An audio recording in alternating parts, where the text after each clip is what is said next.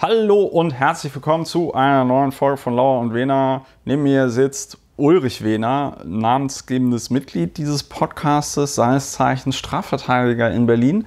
Das ist gut, dass er Strafverteidiger ist, denn in der heutigen, heutigen Folge super Einstieg gehabt, jetzt super verplappert. In der heutigen Folge reden wir unter anderem über Chemnitz. Ja, neben mir sitzt der Bachelor Lauer und Bachelor of Arts. Bachelor of Arts und Publizist Christopher Lauer. Namenspartner, wie man in Rechtsanwaltskanzleien gerne sagt, dieses das Podcasts. Das ist aber keine Rechtsanwaltskanzlei, da gehen wir nachher auch noch bei einem Thema drauf ein. Gehen wir drauf ein? Dass man vorsichtig damit sein sollte, was man über sich und seine Vita so behauptet. Richtig, Rechtsanwalt darf man nicht einfach so sagen von sich. Ich ja. darf es allerdings. Ich nicht. Aber ich tue es auch nicht einfach so. Und ja, wir steigen ein. Ja, wir steigen ein. Genau. Wir haben einen. Wir haben gehen einen in die Vollen. Wir gehen in die Vollen. Wir haben einen ähm, Podcast, da geht es meistens um Politik, aber auch um gesellschaftliche Themen. Ulrich erklärt immer am Anfang der Folge, was ist eigentlich Lauer und Wena für, für einen Podcast? Also außer, dass es der beste Sexmedizin-Statistik und ich glaube auch ähm, Lebenshilferatgeber-Podcast Deutschlands ist. Ja, wir sind auch ein Podcast, um den Wahnsinn des Alltags durch sprachliche Verarbeitung zu überwinden, zu überstehen. Heute sind wir der Podcast gegen die Schockwerbung. Schockwerbung, ein Begriff, den ich zum letzten Mal, glaube ich, gehört habe, als das Unternehmen Benetton, ein italienischer Textilfabrikant, mit ich glaube, Menschen, denen Gliedmaßen abgeschossen waren oder einem blutigen, frisch geborenen Säugling warb und dann sagten alle, oh, das ist ja Schockwerbung. Wir sind der Podcast gegen Schockwerbung, in dem wir heute zum Beispiel uns damit auseinandersetzen, was macht Herr Trump, wenn er behauptet, wenn er Kaufangebote über Staaten macht oder Regionen in Staaten da zeigen wir, dass es Schockwerbung ist und wir wenden uns gegen Schockwerbung. Ansonsten sind wir der Podcast, der die Gegenwartsbewältigung sich auf die Fahnen geschrieben hat, wo immer dieser Begriff auch herkommen mag. Und wir möchten die Dinge uns etwas genauer anschauen, bevor wir uns aufregen oder vielleicht auch anstatt uns aufzuregen. Und das werden wir wahrscheinlich am Beispiel Chemnitz-Verfahren, das Verfahren gegen Ala S., in dem heute das Urteil des Landgerichts Chemnitz in Dresden. den Räumlichkeiten des Oberlandesgerichtes Dresden ergangen ist. Das sind wir, der Podcast für die Gegenwartsbewältigung und das faktenbasierte Aufregen. Ja, äh, manchmal kriegen wir das mit der Trennung von Fakten und Meinung nicht ganz so gut hin, was unter anderem daran auch liegt, dass im Moment noch Sommerloch ist. Ne? Es Sommerloch noch vor sich hin. Und ich glaube, dass angesichts des Wahnsinns in der Welt so möglicherweise, das bemerke ich zumindest bei mir, die so, so ein bisschen es so eine Schwelle gibt, dass ich gewisse Sachen auch gar nicht mehr so richtig wahrnehmen will. Also ich meine, es gibt ja im Moment das wäre eine schöne Überleitung, wenn wir schon darüber reden würden. Es gibt ja im Moment so viele Naturkatastrophen aufgrund des Klimawandels. Man könnte ja einen ganzen Podcast darüber machen, die nur runter und rauf zu erzählen. Ähm, Dinge, die früher komplett einzigartig gewesen wären. Also weiß ich nicht, wenn in den 90er Jahren der äh, Amazonas schon so gebrannt hätte, wie der es jetzt gerade tut, ja das wäre ja also komplette Ausnahmesituation gewesen. Aber wir haben ja nicht nur den brennenden Amazonas, wir haben auch die, den brennenden Permafrost in Sibirien, wir haben das schmelzende Eis von Grönland, wir haben äh, äh, Hitzewellen in, überall auf der Welt. Ja? Ähm, und das ist dieses, äh, habe ich diese Woche auch erst benutzt im Zusammenhang mit Kartoffeln das ist dieses Shifting Baseline Syndrome. Ja?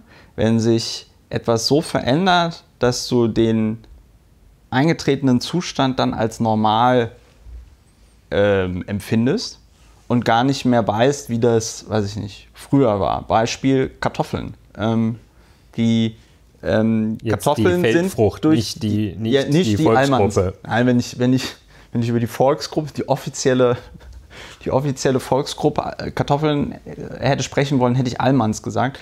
Nein, aber Kartoffeln sind einfach dieses Jahr und auch im letzten Jahr sehr, sehr klein aufgrund der Dürren. Und weißt du, kannst dich noch daran erinnern, wenn du früher so einen Kartoffelsack gekauft hast, dann waren da immer so richtige Kabenzmänner drin. Dann waren da so mittlere Kartoffeln drin und dann waren da so ganz so zwei, drei ganz kleine Kartoffelchen, wo man sich dann so gefragt hat, oh, wie seid ihr denn hier reingekommen? Wo man dann direkt so kleine, wollte man so- wie so, ähm, so, so Kartoffelmännchen. Ja, so Kartoffelmännchen wollte man daraus machen, weil da hast du dir gedacht, ey, oh, wenn ich da jetzt mit dem Sparschäler drüber gehe, da ist ja eh gleich eine halbe Kartoffel weg, da kann ich ja eh nicht mehr. So, Ja, und jetzt, und jetzt, und ich hatte ein Foto davon getwittert, wenn du dir jetzt einen 2 Kilogramm Sack Kartoffeln kaufst, dann ist der voll mit diesen kleinen Kartoffelchen, ja. Und es sind noch so ein paar ähm, so mittlere, also das, was man früher als mittelgroß bezeichnet hätte, sind jetzt die großen Kartoffeln. Und das, was früher ja, so richtig so handgroße Kabenzmänner, ja, so, so dick wie ein Unterarm, ne? Das gibt's gar von nicht mehr. Kräft, wie ein kräftiger. Ja, da habe ich drei Sachen eigentlich zu, zu sagen. Ja. eigentlich. Das erste, eine sehr eindrucksvolle Studie, die du da, Querschnittstudie, nein, Längsschnittstudie, ne, über die Zeit hinweg angestellt hast. Die, Forschung, die Grundlage ist ja früher ein Sack Kartoffeln heute. Äh, zweitens, ich glaube allerdings, dass man das, ich möchte dem Phänomen nicht widersprechen als solchem, aber ich glaube, das kann man, so wie man auch besonders große Austern oder kleine Austern haben kann oder einen dicken oder dünnen Spargel kaufen kann, weiß ich nicht, ob das bei Kartoffeln nicht auch so ist, dass man große und kleine kauft, so wie man auch kleine Äpfelchen und Riesenäpfel kaufen kann. Das dritte ist, dass ein fast eine Synonymformulierung für der ehrlich ist der Dumme ist, dass die dümmsten Bauern die dicksten Kartoffeln haben. Ja. Ja, das sind meine Anmerkungen dazu. Bedeutet das jetzt, dass die deutschen Bauern im Durchschnitt intelligenter geworden sind? Das wäre, glaube ich, Ursache und Wirkung zu verwechseln. Ja. So, bevor wir uns aber zum Quatsch-Podcast entwickeln. Ja, aber Ulrich, ich habe dir neulich den Link geschickt. Ne? Es gibt jetzt einen Podcast, der heißt Dick und Doof. Ich habe versucht, in fünf Minuten zu hören. Platz 1 der iTunes-Charts war er an dem Tag, als ich ihn dir geschickt habe. Heute, als ich gerade nochmal geguckt habe auf iTunes, war er auf Platz 4. Da sind so zwei Abiturienten, eine Frau und ein Typ, und die ähm, schreien sich im Wesentlichen an und unterhalten sich über Dinge. Ähm, da habe ich mir gedacht, der Ehrliche ist der Dumme. Warum versuchen wir hier noch irgendwie thematisch das Wochengeschehen aufzuarbeiten, wenn wir uns auch die ganze Zeit darüber unterhalten können, wie das so ist mit Andi, also oder Jürgen oder Peter. Er sprach von irgendeinem Freund, mit dem er dann Bier trinkt oder so. Das ist der Inhalt dieses Podcastes. Ja. Vielleicht sollten wir umsatteln, um Und da ist- breitere, um breitere Hörerinnen-Schichten zu. Äh, ach, warum Hörerinnen-Schichten? Hörerschichten. Gendern hören die auch nicht gerne, die Leute. Ja. Und wir müssen mehr ins Mikro schreien. Ja. Damit es schön übersteuert. Und wahrscheinlich noch eine Kiste Bier hier hinstellen. Ja. Man kann sehen, praktisch synonym zu gebrauchen. Der Ehrlich ist der Dumme und die dümmsten Bauern haben die dicksten Kartoffeln. Weil dieser Quatsch-Podcast, ich habe auf deinen Hinweis versucht, das auch ein paar Minuten mir anzuhören, musste das tatsächlich abbrechen, diesen Versuch, weil äh, es mir schlecht zu gehen drohte dadurch. Und wieso das dann von so vielen Leuten gehört wird, ist fraglich. Jedenfalls viele Leute gleich dicke Kartoffel, dümmste Bauern, muss man wohl sagen. Um diesen Titel haben sich die Macher jenes Podcasts beworben. Gleichzeitig kann man ja nicht im Ergebnis sagen, dann sind die ja alle doof, die das anhören. Man muss schon die Frage stellen, warum hören die Leute das? Weil sie doof sind? Nö, das ist wahrscheinlich genauso wie Leute, die, weiß ich nicht, ironisch äh, Germany's Next Topmodel gucken oder so. Nun gut. Ähm, wir kommen vom Hölzchen aufs Stöckchen, auch ein Markenkern dieses Podcastes. Und ähm, jetzt kommt die Stelle im Podcast, wo ich mich bei all den Hörerinnen und Hörern bedanke, die diesen Podcast finanziell unterstützen. Wenn ihr diesen Podcast auch finanziell unterstützen wollt, dann solltet ihr jetzt, also nicht jetzt sofort, sondern nachdem ich fertig bin, den Podcast unterbrechen und einfach einen Dauerauftrag ähm, einrichten auf das im Blogbeitrag zu diesem Podcast angegebene Konto.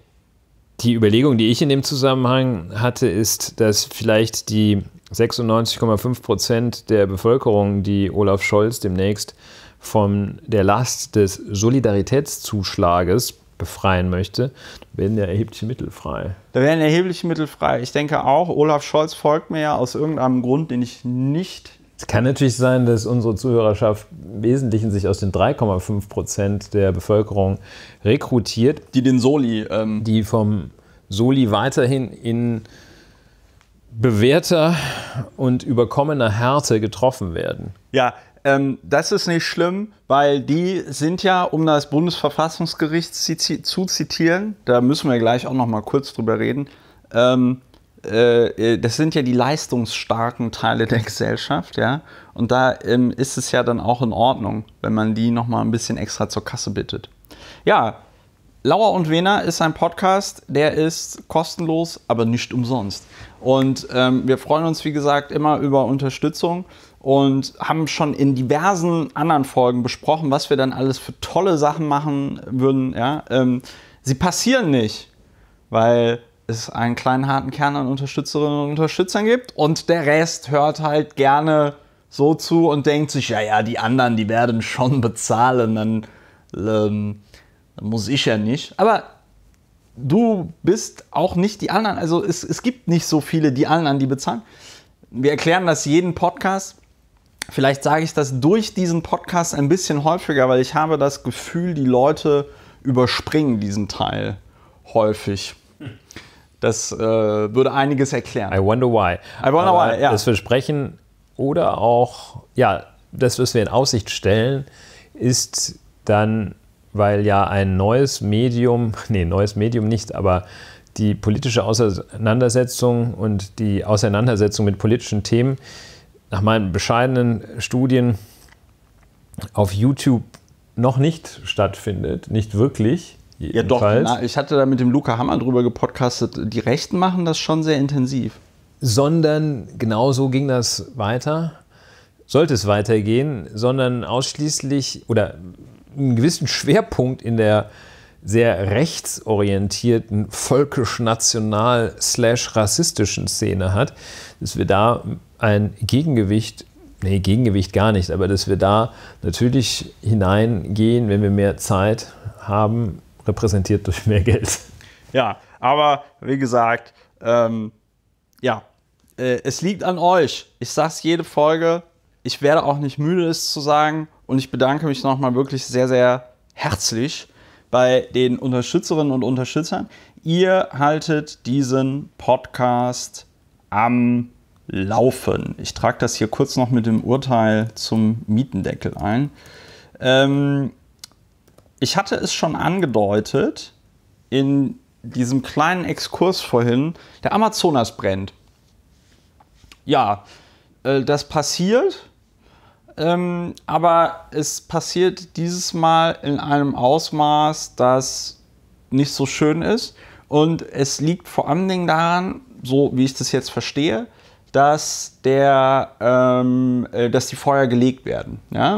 Also das sind dann so quasi so Brandrodungen, die ähm, werden von ja, Leuten gemacht, die dann das Land für Weidefläche oder sonst irgendwas äh, benutzen wollen zum Anbau von Soja.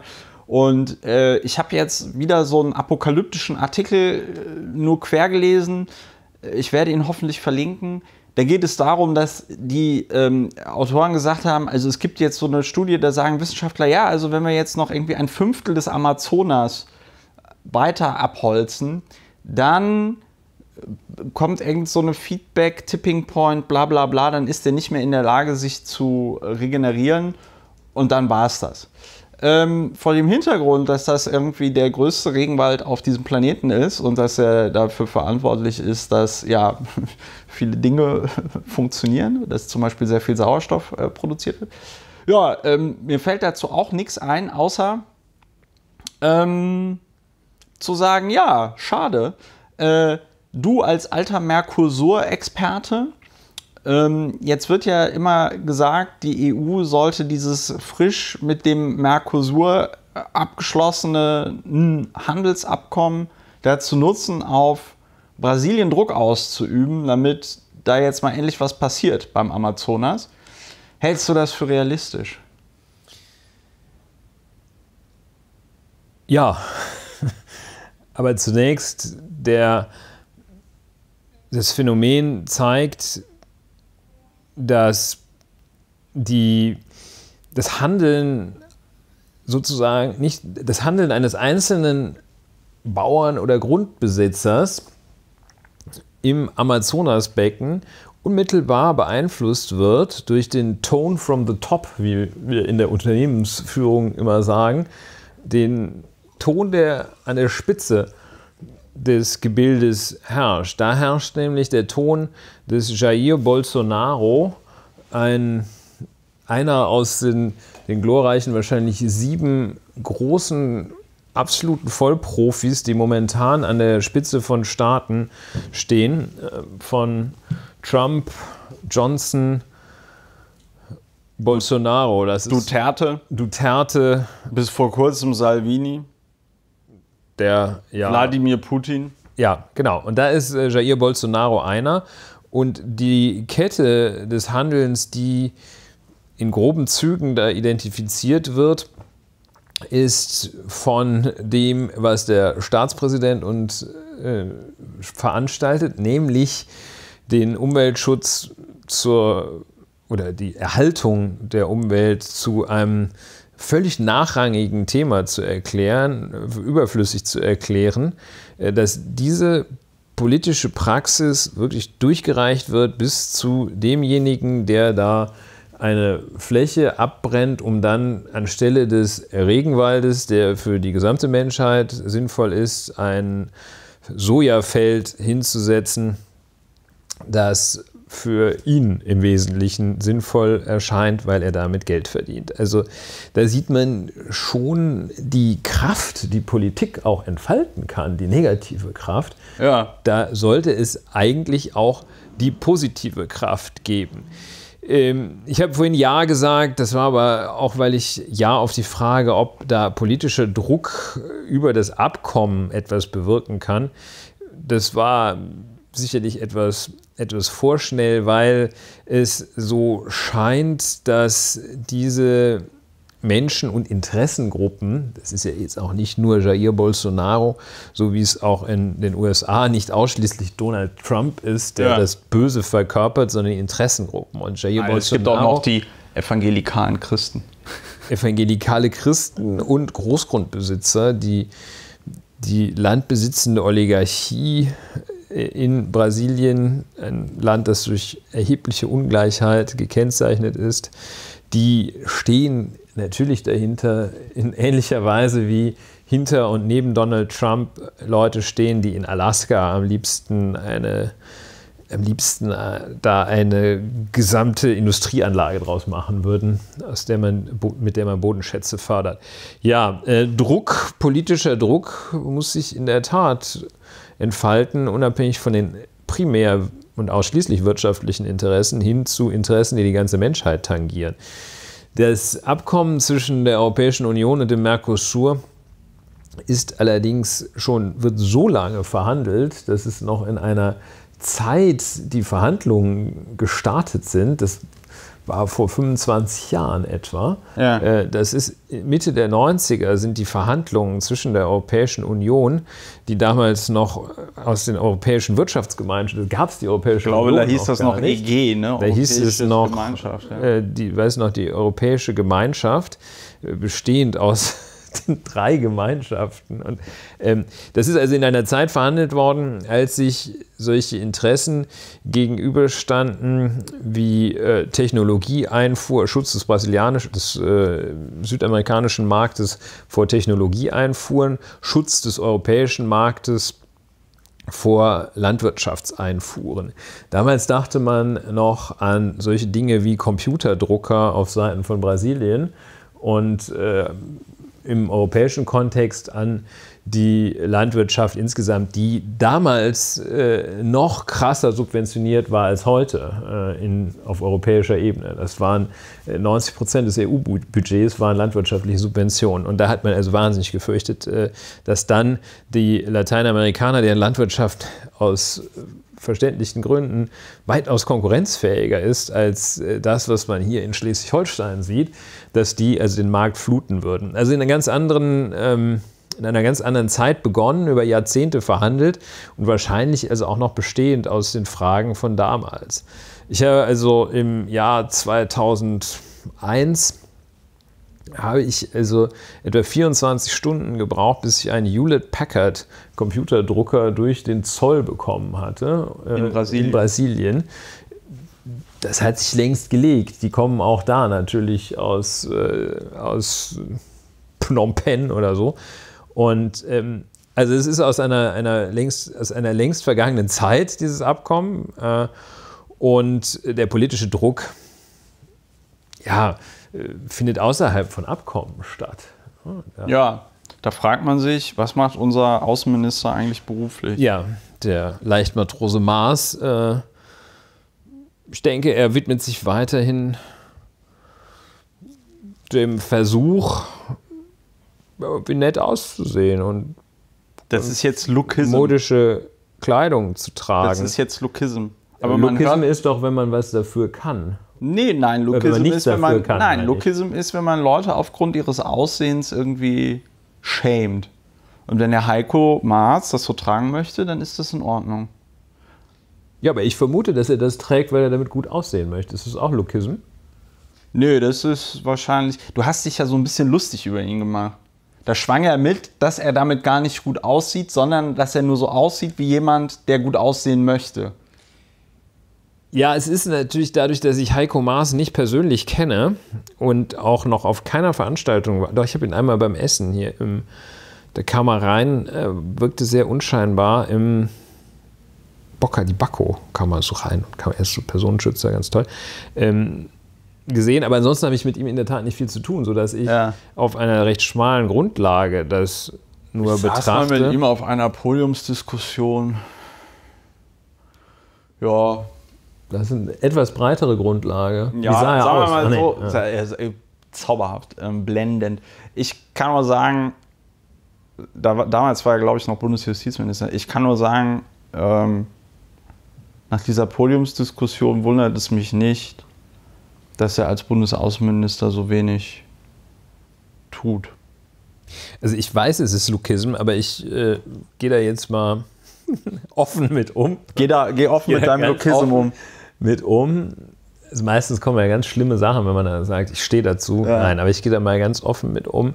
Wenn Herr Maas so heute auch wieder auf einem Foto mit Außenminister Lavrov abgebildet ist, habe ich einfach den Eindruck, da steht ein ganz guter Schüler, ein Schülerchen, ja. und lässt sich von so einem alten Hasen da durch die Gegend kommandieren das ist keine, nicht die hohe Schule der außenpolitischen Analyse, das weiß ich sehr wohl. Ja, das ist, aber also es, in Foreign Policy würden wir es wahrscheinlich nicht reinschaffen mit der Analyse. Ja, vielleicht ist es ja. ein New Approach, aber ja. ähm, ich kenne, also mir ist jetzt auch nicht erinnerlich, dass Heiko Maas einen Vorstoß gemacht hat, eine Idee platziert hat, die wertvoll gewesen wäre die überhaupt in Erinnerung geblieben ist. Als, sowohl als, als Außenminister, als, als Justizminister, auch als Justizminister fällt mir da ein, nicht, ähm, nicht viel ein. ein auch ein, ein ziemlicher Reinfall. Da ich ist weiß gar nichts nicht, also irgendwie, irgendwie. Wie kommen wir jetzt auf Heiko Maas? Ja, der könnte nicht, sich mal ein gesagt, bisschen. Weil wir gesagt hatten, der könnte mal was für sein Geld machen, ne? Ja, er könnte. Es könnte ja zum Beispiel auch die Bundesregierung insgesamt als Repräsentanten der Bundesrepublik Deutschland äh, ein eine Neugewichtung von Themen vornehmen. Zum Beispiel könnte man sich ja in der Tat dem Thema Klimawandel, Klimaschutz widmen. Aber es gibt ja keine Überschrift deutsche Außenpolitik. Äh, es gibt keine wirkliche ja, das Linie. Ist schade, es ist schade. Ich, ich, ich versuche gerade mich zu erinnern, wann das so, wenn das so entgleist, äh, wann das so entgleist ist. Ich habe das Gefühl, nach Klaus Kinkel kam irgendwie nichts mehr. Doch, Joschka Fischer. Joschka Fischer war noch ziemlich, äh, war noch ein ziemlich ähm, engagierter, streitbarer, aber zumindest klare Kante. Ne? Also hier dieses ähm, I'm not convinced, Mr. President. I'm not und convinced. So. Ja, und der also, Joschka Fischer hat der die äh, deutsche Teilnahme am nicht, dass ich das jetzt mal irgendwie als ganz toll werten würde, aber hat die deutsche Teilnahme am damals noch Jugoslawienkrieg, äh, Kosovo-Einsatz ja. stattgefunden.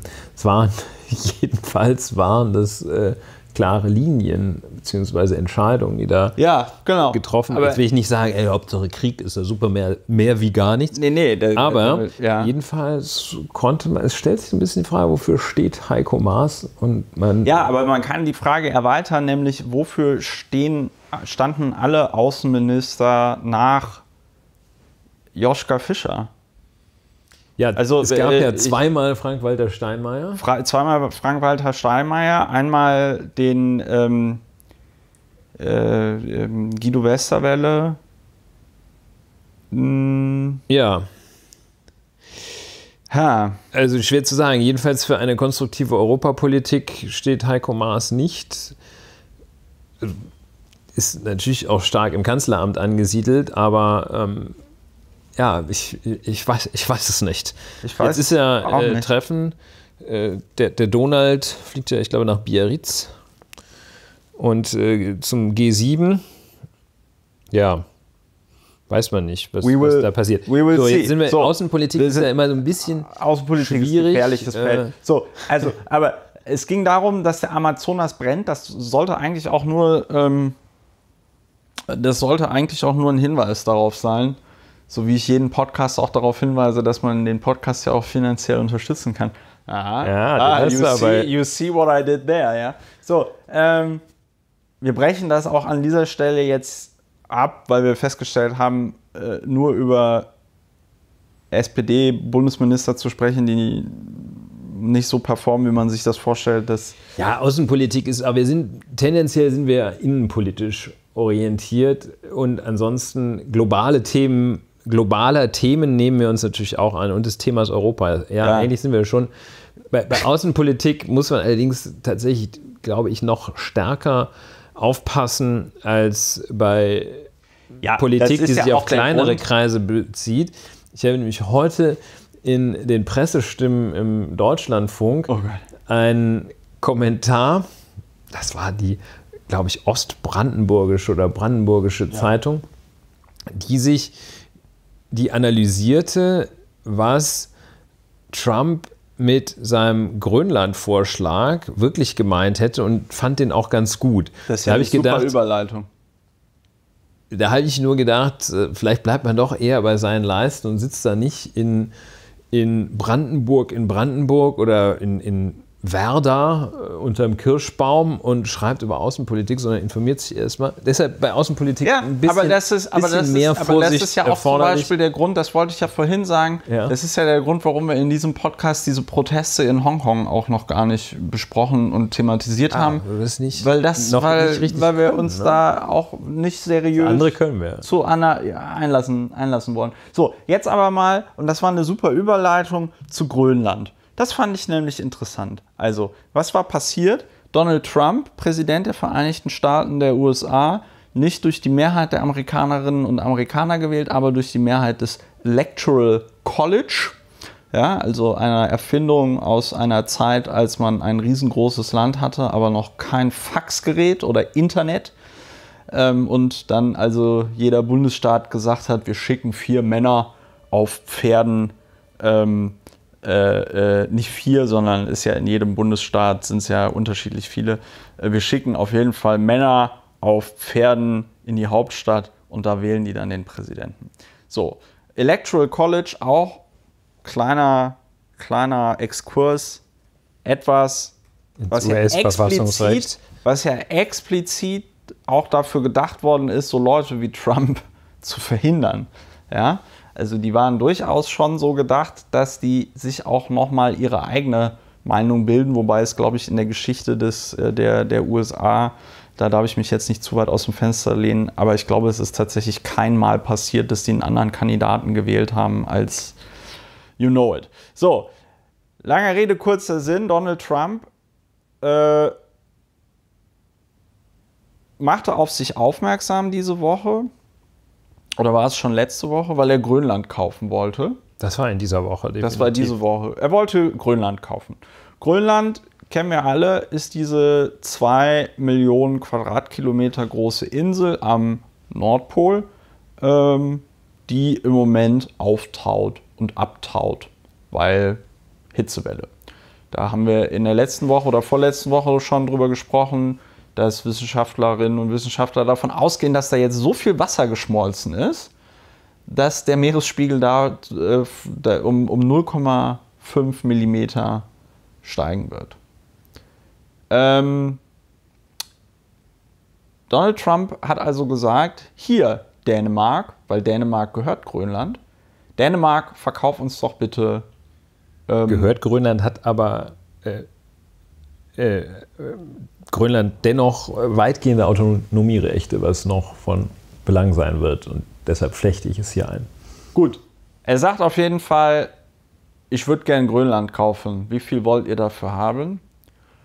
Ja, und die dänische Ministerpräsidentin, Sozialdemokratin, ähm, hat gesagt, lieber Donald Trump, nein, das geht leider nicht.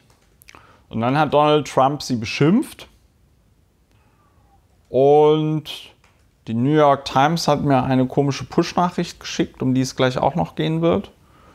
Und dann war Donald Trump so beleidigt, dass er seinen geplanten Dänemark-Besuch abgesagt hat, weil die Ministerpräsidentin von Dänemark Donald Trump nicht Grönland verkaufen wollte.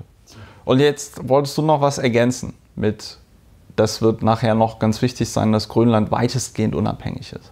Ja, da kommen wir gleich zu. Aber ich wäre jetzt soweit fertig. Du bist soweit fertig. Sonst würden wir schon direkt in die Bewertung gehen. Oder warum ich das überhaupt erwähne und interessant finde.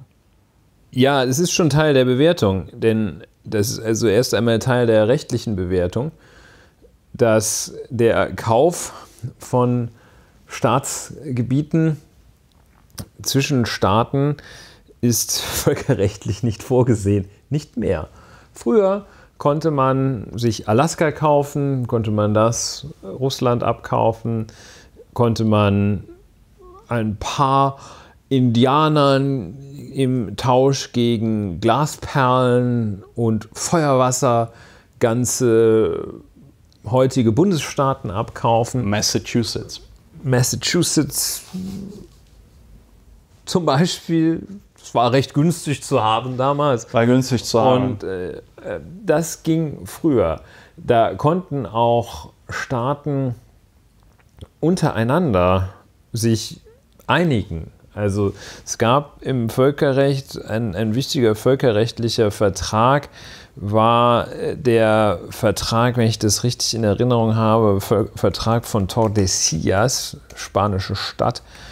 Und der regelte, dass die, welche Teile der Welt den Spaniern und welche Teile der Welt den Portugiesen gehörten. Das war im äh, frühen 16. Jahrhundert, das, äh, als äh, dann auch in Europa bekannt wurde, dass es einen amerikanischen Kontinent gab. Da haben äh, Portugal, und Spanien die Welt aufgeteilt. Das haben sie dann sozusagen als Notar für die beiden Parteien fungierte der damalige Papst. Ich wollte es gerade sagen. Das waren, das waren noch Zeiten. Das waren noch Zeiten. Äh, auch, ich glaube, äh, Harry Truman war einer der letzten, der Angebote auf den Markt gebracht hat, Staaten käuflich zu erwerben. Ich glaube, er wollte auch schon Grönland kaufen. So, aber seitdem ist das vorbei. Also das Völkerrecht. Ist zum Beispiel, was China gemacht hat mit äh, Qingdao und Hongkong, das für 99 Jahre zu vermieten. Gepachtet war das, ne? Ja. ja. Geht das noch? Halte ich für ausgeschlossen. Äußerst halte ich für ausgeschlossen, weil es auch ähm, mit dem Grundsatz des Selbstbestimmungsrechts der Völker sehr schwer vereinbar ist. Ja. Dass äh, da ein Eingriff geschieht und äh, über das Schicksal eines Staatsvolkes oder einer Bevölkerungsgruppe entschieden wird, ohne dass diese Bevölkerungsgruppe das selber, entscheid, äh, selber darüber entscheidet, aktiv entscheidet.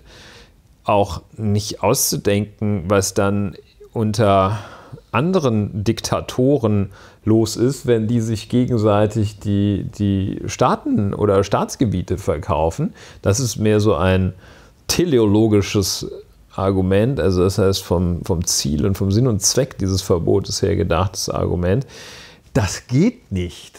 Und ja, das also, Extrembeispiel also das wäre ja mit das, gutem Grund ja, völkerrechtlich das, schon mal untersagt. Das Extrembeispiel wäre ja, jetzt habe ich mir das auch mal noch für Dove überlegt, weil ich mir, ja nein, also ich, ich sag mal so, ich habe mir überlegt, komm, wenn wir jetzt Sachsen verkaufen würden, ja, das, das ist was ja, anderes. Das, das wäre ja jetzt auch nicht so schlimm. Aber ähm, Spaß beiseite. Und die Sächsinnen und Sachsen, die das hier hören, sind jetzt natürlich stinkesauer. Aber ich habe mir natürlich überlegt, das Extrembeispiel wäre natürlich so ein, weiß ich nicht, Typ wie der Duterte, der sich finanziell absichern möchte und dann halt, weiß ich nicht, die Philippinen an die USA verkauft oder so. Und ähm, ich glaube, das ist mal, das ist nochmal ein ganz ein gutes Extrembeispiel, warum es irgendwie kompletter Spückes ist. Ja. Weil man natürlich auch das gesamte Staatsgebiet verkaufen könnte und das wäre so ein bisschen grotesk. Es gab in der Tat, also ich sage das, stelle ja nicht deshalb aus Völkerrecht ab, um, weil ich meine, man muss jetzt wirklich hart argumentieren, um zu zeigen, was für ein Schwachsinn das ist. Nur es zeigt sich einfach von A bis Z. Es zeigt sich von solchen, das Zusammenleben der Nationen seit mehreren hundert Jahren regelnden Institutionen wie dem Völkerrecht bis zu dem schlichten Gefühl, das einfach jeder hat, der halbwegs geradeaus denkt, dass es totaler Schwachsinn ist. Ja. Also auf ganzer Linie. Und äh, ein Staatspräsident sollte vielleicht nicht krass völkerrechtswidrige Dinge vorschlagen, äh, aber er sollte auch nicht Dinge vorschlagen, wo sich wirklich der letzte Grundschüler an den Kopf fasst und sagt, ja. das gibt es doch gar nicht. Mir fällt noch ein weiteres Beispiel ein. Es ist eigentlich relativ häufig, dass die, die, die Bildzeitung im Sommerloch so durch, ähm, das ist schon mehrere Jahre nicht geschehen, so durch das Sommerloch das Thema jagt, Deutschland solle Mallorca kaufen. Aber auch das wird das ist schwierig. Und wenn alles gut läuft, werden wir uns sowieso zu Europäern entwickeln. Es ist völlig egal, ob Mallorca deutsch ist oder nicht. Aber so, weiter äh, mit diesem Thema. Ja. Äh, ich habe das erst, ich persönlich, mal eine kleine Impression aus ja. meiner Wahrnehmung. Ich habe dieses Thema erst gar nicht wirklich wahrgenommen. Ich habe das nur so im Hintergrund gehört.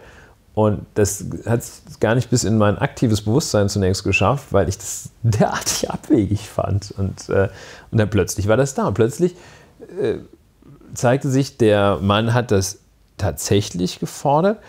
Und also fassungslos war ich, als der dann den Staatsbesuch abgesagt hat. Ja. Also das hat mich fassungslos gemacht. Ja, ich glaube allerdings, wir können diesem ganzen Thema auch noch eine weitere Dimension hinzufügen. Ich habe den Eindruck, dass du das auch tun möchtest gerade. Ja, nee, ich wollte, genau, ich wollte einfach dazu, also der Grund, warum ich darüber reden wollte äh, und noch immer darüber reden will, ist, dass ich die Berichterstattung dazu nicht so ganz verstanden habe. Ich meine, das, was du gerade gesagt hast, ist ja schon mal einfach ein wunderbarer Hinweis, der wieder zeigt, dass wenn es in den Redaktionsstuben von hier bis Bischkek mehr juristischen Sachverstand gäbe, man das ganze Thema auf einem deutlich, äh, sag ich mal, sachlicherem Niveau verhandeln könnte. Ja, und ich kriege aus der Redaktion auch gerade den Hinweis, dass der Vertrag von Tordesillas schon 1494 ja. geschlossen wurde. Ich, wurde also ich war so ein bisschen, ich war ein bisschen gut, irritiert, als du gesagt nebenbei. hast, 16. 16. Jahrhundert und ähm, das als den Europäern klar wurde, dass es die USA gibt. Aber ähm, gut, der, der, der Punkt, also man hätte das ja viel sachlicher verhandeln können, wenn man einfach schon mal darauf hingewiesen hätte, dass das rechtlich gar nicht möglich ist. Ähm, dann erübrigt sich nämlich auch eine weitere Diskussion darüber. Was ich grotesk fand, war dieses, ähm, und da zeigt sich einfach, dass die Medien, trotzdem Donald Trump jetzt schon seit zwei Jahren Präsident ist, zweieinhalb Drei. Jahren. Wieso, der wurde doch 2017 vereidigt. 18, 19, Ja, 2000. ich weiß es nicht. Ich glaube aber, es sind drei. Aber ähm, 16 wurde er gewählt im, De im November. seit Januar 2017, ja. Also Genau, zweieinhalb und- Jahre. Ja, ja. So. Er ist im dritten Jahr. Er Alles ist klar? im dritten Jahr, 2020 ist die nächste Wahl. Ich befinde es bemerkenswert, dass es noch immer nicht gelingt, äh, der Öffentlichkeit auf Social Media, aber auch den Medien mit so etwas umzugehen. Weil ähm, dieser Vorschlag, also sagen wir mal so, einerseits ist er total grotesk, andererseits hat er natürlich auch noch einen interessanten Kern, denn auch wenn Donald Trump offiziell leugnet, dass der äh, Klimawandel tatsächlich stattfindet, sehen wir gerade, dass der Klimawandel und die Klimakatastrophe tatsächlich stattfindet. Wir haben es in diesem Podcast eingangs thematisiert. Ähm, und wenn du dir alle diese Karten anguckst, so mit Projektionen, welche Gebiete auf diesem Planeten werden im Jahr 2100 möglicherweise noch bewohnbar sein oder so, dann sind da auf jeden Fall die nördlichen Gebiete wie hier Nordeuropa und auch ganz vorne mit dabei Grönland. Und dann hättest du nämlich auf einmal eine 2 Millionen Quadratkilometer große äh, Fläche, also eine Fläche, die ungefähr sechsmal so groß ist wie Deutschland, ja, eher siebenmal. Und da könntest du dann zumindest ein paar von deinen 250 Millionen Hanseln, die in den USA leben, unterbringen. Ähm, dass das, also sage ich mal, die geopolitische Dimension dieses ganzen Vorschlages oder Vorstoßes von Trump, ja, dass die nicht diskutiert wurde, sondern dass es immer hieß, ja, erstens, haha, Trump macht wieder einen komischen Vorschlag, zweitens, es geht ihm um Rohstoffe, hm. und dass aber dann niemand da mal zwei Minuten drüber nachdenkt und sich überlegt, okay, wenn Grönland dann tatsächlich im Jahr 2050, im Jahr 2100 noch einer der wenigen Flecken auf diesem Planeten sind, die man halbwegs ordentlich bewohnen kann, Ja. dann ist es natürlich praktisch, wenn du dir das im Jahr 2019 oder 20 kaufst und dann da schon mal, weiß ich nicht, eine ordentliche Militärbasis hinbauen kannst. Oder so. Ja, zum Beispiel. Oder schon mal ein Spielcasino Ja. ja, für, für Ivanka und diese etwas ähm, arrested developten Kinder. Das ist nicht nett, aber muss trotzdem mal. Das muss, So das, muss, es es muss, ich muss mal es- die Wahrheit es sagen. muss- ich muss das mal ansprechen hier. Man wird ne? doch wohl noch sein dürfen, das muss Ja. raus. Ja, in der Tat, eine der Dimensionen, die, soweit ich es gesehen habe, nicht angesprochen worden ist, außer von dir, aber dafür bist du ja auch da, dass du es ansprichst, die der Shifting Baseline Phänomens-Effekt, Shifting Baseline-Effekt hast du ja vorhin Ja. selber angesprochen, oder das Overtone Window, diese Maßnahme am laufenden Meter die Leute mit Ungeheuerlichkeiten zuzutapezieren, Ja. sodass er, der Donald, sich immer mehr leisten kann und leisten wird. Flüchtlingskinder von ihren Eltern trennt, die ver, ver, ver, verdrecken und verlottern lässt, ohne hygienische Unterstützung. Also im Muslim-Ban, also grab them by the pussy. Also Ja. die ganze, solch, das heißt, wenn das progressiv weiter so ansteigt, was der sich erlaubt, dann führt das, ich will das mal krass sagen, dann wird auch ein Atomwaffeneinsatz in gar nicht so ferner Zukunft von ihm ins Spiel gebracht werden. Er hat es ja schon mal angedeutet, Ja, ja, dass er irgendwie den Iran. längeren hätte als Fire, ja, Fire, Und- and, nee, Fire and Fury. Und war ähnlich. Aber auch das so. verschiebt Ja, sich so weit, dass auch der Einsatz von Atomwaffen auf Kindergärten eines Tages von Donald Trump gefordert wird. Und äh, das macht er ja auch alles nicht, um äh, seinen Worten keine Taten folgen zu lassen, sondern das macht er, um den Worten Taten folgen zu lassen. So. Und die Deswegen hat mich das Reaktion mit darauf. Grönland auch ein bisschen beunruhigt. Ja, das finde ich auch sehr beunruhigend. Die Reaktion darauf ist auch in den USA, dass nicht die ganzen USA durchkämmt, aber die sind ja schon völlig ermüdet dort. Die lassen den ja machen, was er will. Da steht ja auch keiner auf und sagt, unser Präsident ist, also außer so ein paar intellektuellen Kreisen, Angehörigen intellektueller Kreise in Massachusetts und in den größeren kultivierten Städten, die hassen den natürlich alle. Aber es steht ja keiner auf und äh, bringt da Leute hinter sich, um gegen The Donald vorzugehen. Und äh, das ist ein, ein sehr schlimmes Phänomen. Ich äh, fürchte auch, dass dieser Mann, der ja verheerend erfolglos ist in Dingen, die man messen kann, äh, und verheerend erfolgreich in Dingen, die man nicht messen kann, nämlich im Wohlfühlfaktor für irgendwelche zurückgebliebenen Rednecks und sonstige Bewohner von Flyover-Countries, ähm, also in Dingen, die man messen kann, nämlich in der Wirtschaftsleistung und äh, in der diplomatischen Kultur, in der Stellung, die äh, das Land in der Welt hat, äh, verheerend erfolglos ist, dass der sich in der Tat House of Cards mäßig seine vermeintlichen Erfolge suchen wird. Und guckt mal, ob er sich mit Dänemark über Grönland anlegen kann. Wird natürlich jetzt nicht so einfach. Ähm, aber ich möchte jetzt auch nicht wissen, was er als nächstes verzapft. Was für nach Anzettelung von Handelskriegen und Bedrohung von Diktatoren und was dann als nächstes? Ja, Wahrscheinlich kommt eine üble Auseinandersetzung mit, den, mit der EU und also man, man, man sitzt da wie das Kaninchen vor der Schlange. Ja, und gleichzeitig hofiert er natürlich auch irgendwie so Leute jetzt wie den äh, Kim Jong-un und das ist ja das Bizarre, dass er gegenüber, ähm, dass er gegenüber äh, also demokratisch gewählten äh, Regierungen sich noch assiger verhält als dann gegenüber so einem krassen Diktator wie dem Kim, Kim Jong-un oder Wladimir Putin, die scheint er zu respektieren. Ja. ja, was ich in dem Grönland, also alles vollkommen richtig, was du gesagt hast, sehr beunruhigend.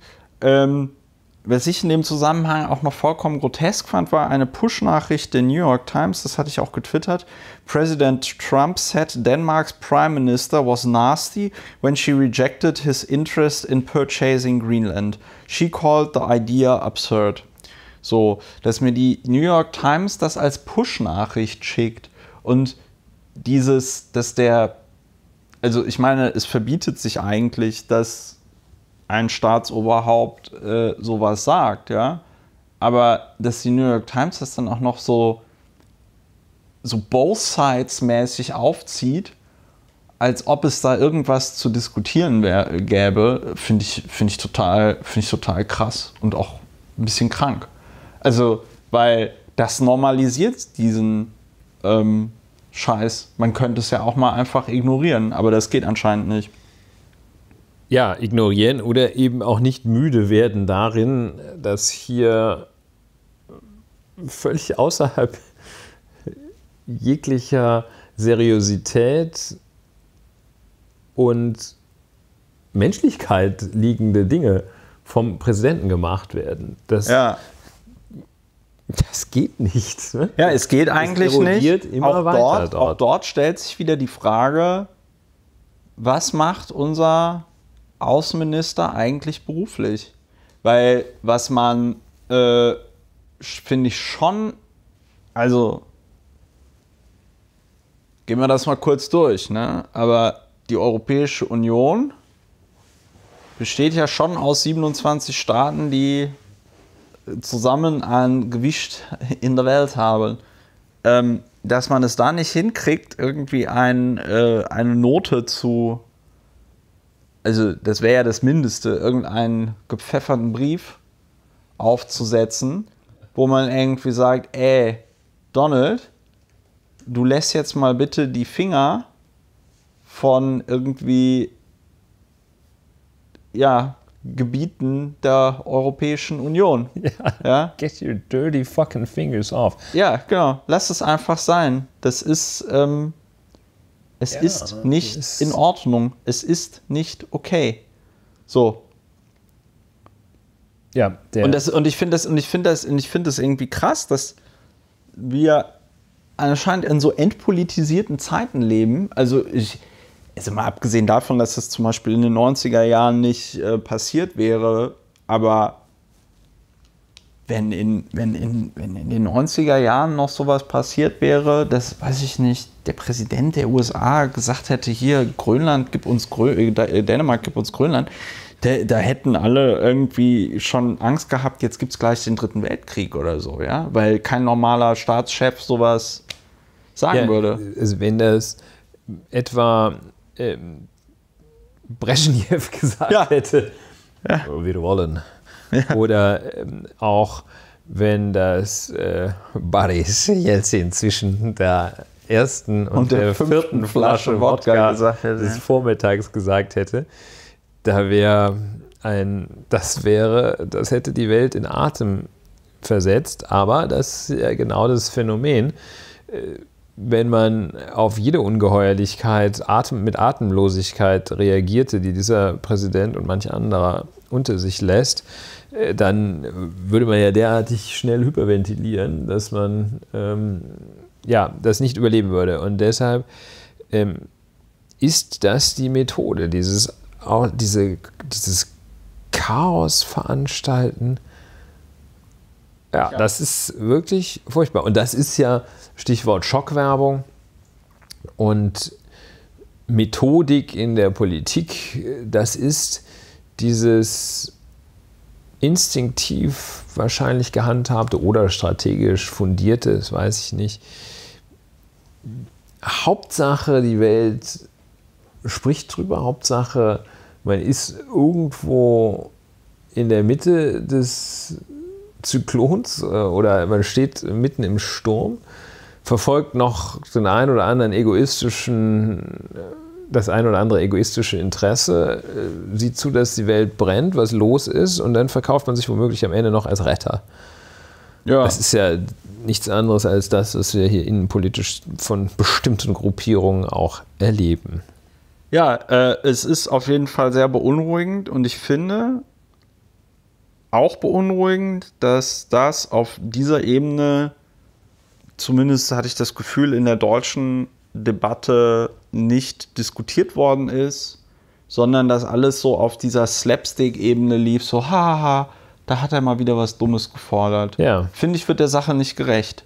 Ja. Es ist umgekehrt auch so, wenn etwas wirklich Ernstes passiert. Es kann ja auch sein, dass, ich meine, es ist ja auch möglich, dass die Vereinigten Staaten, angeführt von diesem unglaublichen Präsidenten, dass sie auch mal eine gute Idee haben, dass sie tatsächlich auch etwas Sinnvolles tun möchten, ähm, ist doch völlig kaputt schon. Du kannst doch nirgendwo. Ja, aber das ist der Witz, ja du sagst das gerade, es könnte ja sein, dass sie nochmal irgendwann was ähm, äh, Positives fordern und ich denke mir einfach so, nee, daran glaube ich jetzt nicht. Ja. Ich, ich, habe da einfach die Hoffnung verloren. Ähm, aber auch bei Donald Trump kommt man. Äh, ja, wir müssen jetzt von Donald Trump runterkommen. Wir müssen, wir müssen, weg von Donald Trump müssen runterkommen. Und das Beste ist, von Trump runterzukommen, ist, ähm, sich über ein top seriöses politisches Thema zu unterhalten, nämlich den Brexit. Ähm, und da einfach, äh, ich will da gar nicht groß drüber diskutieren, aber so den Hinweis, weil ich fand das, ich war selber noch mal so überrascht, weil äh, mir heute gewahr wurde, wie man so schön sagt, dass ja schon am 31. Oktober, wenn alles läuft oder nicht läuft, ja. aber wenn ähm, am 31. Oktober ist Schicht im Schacht. Ja. So, und ähm, Boris Johnson ist gerade auf einer Tour durch Europa. Er wird überall nett empfangen von Angela Merkel, von Emmanuel Macron, ja. Ähm, du hast hier gerade ein schönes äh, Bild bei Spiegel Online auf, wo sich Boris Johnson so ein bisschen an die Haare fasst. Ähm, und das soll, glaube ich, bildlich signalisieren, was äh, ihm also hier bei seiner Europatour so passiert, nämlich alle Leute sind total freundlich zu ihm und alle Regierungschefs und Chefinnen sagen ihm, ah, also Boris, an dem, was wir da verhandelt haben zwischen der EU und äh, Großbritannien, da können wir leider nichts mehr machen. Ne? Es ist jetzt, der Computer sagt nein. Und ähm, das finde ich doch sehr bemerkenswert, dass die EU das äh, hinkriegt, obwohl, ähm, sag ich mal, es ja bei anderen Sachen nicht unbedingt Einigkeit gibt und sich da ja einige Staaten in Osteuropa auch in eine sehr unschöne Richtung äh, äh, bewegen. Ja?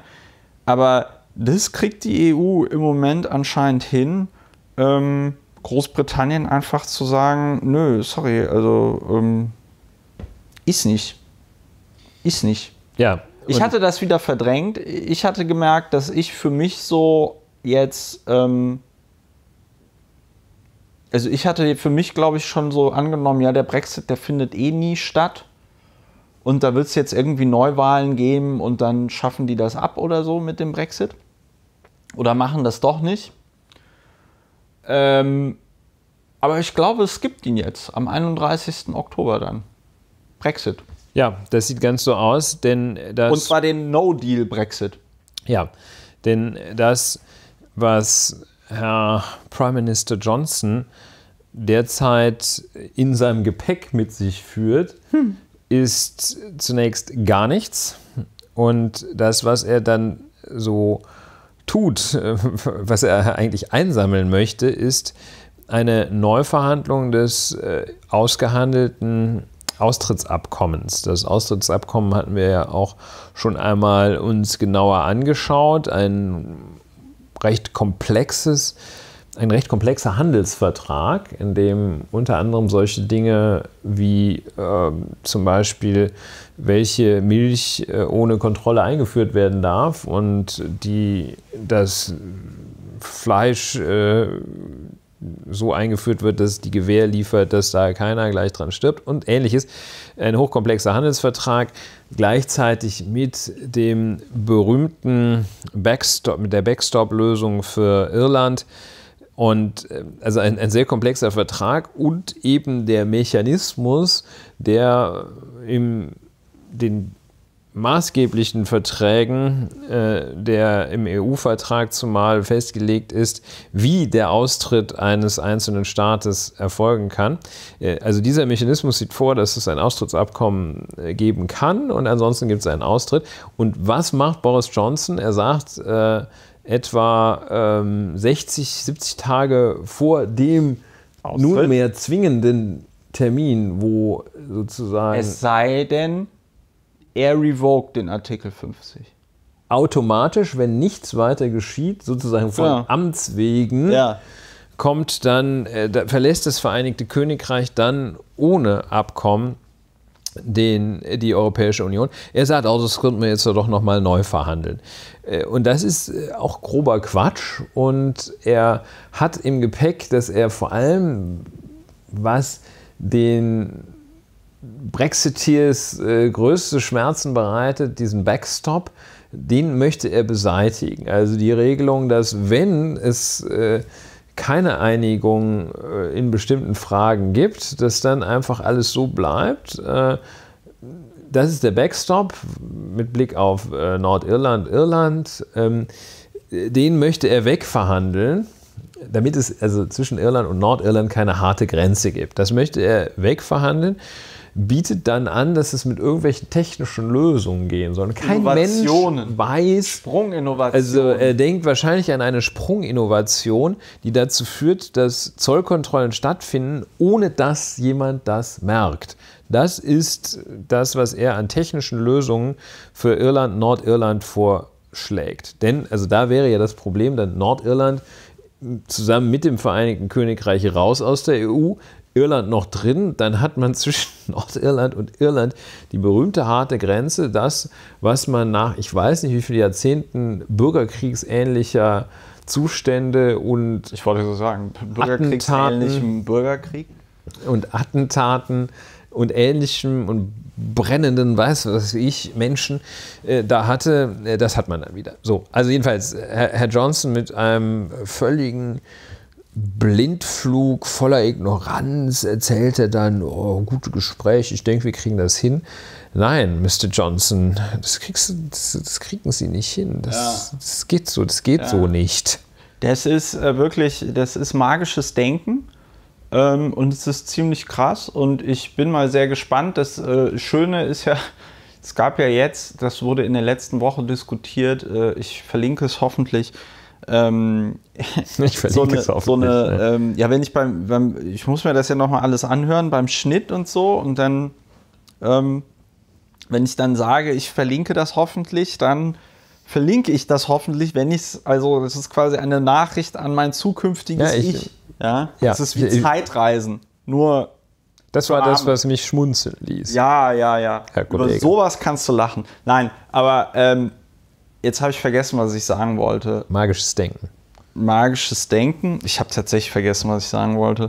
Ja, dann. Ähm, wo, worüber haben wir gerade geredet? Über den Brexit? Ach so, es gab diese Studie, ähm, die äh, tatsächlich von der britischen Regierung gemacht worden ist, die zu dem Ergebnis kam, dass es also Nahrungsmittelknappheiten geben könnte und so Gegenstände des allgemeinen Lebensbedarfs und so dann auch knapp werden könnten. Ähm, äh, es gibt diverse Lebensmittelunternehmen, die wohl bis an die Grenze des also physisch Machbaren jetzt irgendwelche äh, Dinge äh, bunkern, Zutaten bunkern, damit dann, weiß ich nicht, noch Maßriegel hergestellt werden können und sonst was, ja. Ähm, das ist, ich, ich sage immer, also wir schicken, glaube ich, ab 2020 Care-Pakete nach äh, Großbritannien und ab 2025 gibt es dann so eine UN-Mission. So Blauhelme, die dann da rein müssen, um dann den frisches Wasser. frisches Wasser liefern und den ganzen Scheiß da äh, irgendwie befrieden. Ja, also ich äh, hoffe, dass es nicht so kommt, selbst ja, beim, da, danach sieht es für mich gerade aus. Beim harten Brexit, ähm, denn auch wenn diese Übergangsphase, was ich für wahrscheinlich halte, äh, wenn diese Übergangsphase einigermaßen, einigermaßen unfallfrei abläuft, so dass also nicht äh, die Menschen in den Kliniken sterben, weil es keine Kochsalzlösung aus Basel mehr gibt. Also das heißt, wenn es einigermaßen unfallfrei ablaufen sollte, diese, Über diese Anfangsphase, bleibt ja immer noch, dass es ein, ein großer Verlust für Großbritannien, aber auch für die Europäische Union ist, eine, eine üble, äh, ein übler Schlag für Wohlstand und Wohlbefinden und Handlungsfähigkeit dieses Kontinents. Es ist und bleibt, selbst wenn da nicht das ganze Vereinigte Königreich am 1. November zusammenbricht, weil sie kein Insulin mehr haben oder sonst was, selbst wenn das nicht Chaos, Vollchaos gibt, ist es überaus bedauerlich. Ja. Auch weil es das Ganze, deshalb kommt ja auch wenig Häme auf. Und das finde ich gut und richtig. Also nicht nur bei nee, uns kommt keine Häme ja. auf, sondern insgesamt sehen die Leute das eigentlich, habe ich den Eindruck, ist das so eine beklommene Betroffenheit. Und das ja, ich, ist genau das Gefühl, dass das tatsächlich auslöst, dass man sagt, Mensch, es ist ja auch sehr bedauerlich, weil es ist, ich, ja, letzten, ich möchte es einfach auch nochmal sagen, es ist sehr bedauerlich, weil es eine, eine so großartige Kulturnation mit zu großartigen Ideen teilweise auch ist, wenn sie nicht gerade so totale Bekloppten hinterherlaufen. Ja, ich muss aber gleichzeitig sagen, ähm, also so schlimm das alles ist und so katastrophal das alles ist, bin ich dann aber auch wirklich froh, wenn es dann mal dann auch rum ist. Also ich finde das auch schlimm. Also alle Leute, die mir auf Twitter oder Instagram folgen, wissen, dass ich ein äh, großer Fan der Produkte einer britischen Firma bin, Games Workshop. Die stellt diese Warhammer-Figürchen her.